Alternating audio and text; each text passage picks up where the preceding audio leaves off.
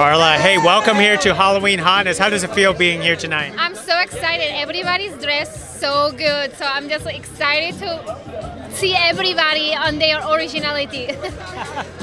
Carla, tell us what, what outfit you brought here tonight. So me and my husband, we were trying to be Barbie and Ken, but I think we just went very much into the 80s, like like superstars of like exercise. One of those videos that they used to do like for for training. You, you mean like those jazzercise Yeah. videos or something? exactly, just like that.